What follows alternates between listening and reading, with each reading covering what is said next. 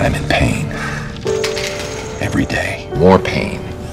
It changed me. Made me a harder person. I am angry. A worse person.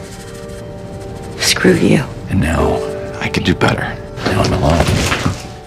I don't think you can. What do you have in your life? Honestly, tell me. You've got nothing, House. Nothing. I need you. This is beyond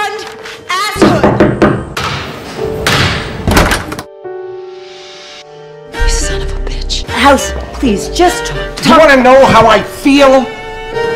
She's not your keeper. She has no responsibility for you. Feel hurt. There is no us. You've been overreacting. There never will be. Are you suicidal? Fine, House. I am overreacting. For better or for worse, you are a part of my life. Why do you need to negate everything? No, it's no big deal. I was feeling vulnerable. He's a friend.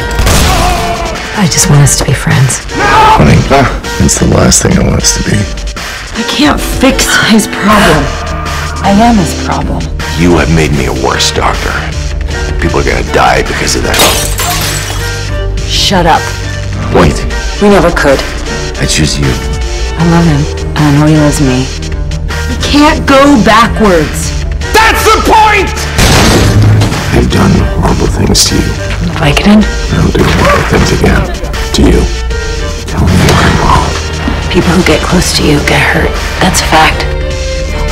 House. I don't want you to change. I know you're screwed up. I don't love you. I love you. I know you are always gonna be screwed up. I think I handled this differently because you were in here. I don't know. Let's try it again without me. This is why you and I can't be a thing. I'm the most screwed up person in the world. I know. You're suggesting you screwed up because of a non-relationship with me. You want a relationship? You're the most incredible man I've ever known. You are always gonna be the most incredible man I've ever known. You think I can fix myself? I don't know. Shouldn't be alone right now. Hi. What the hell?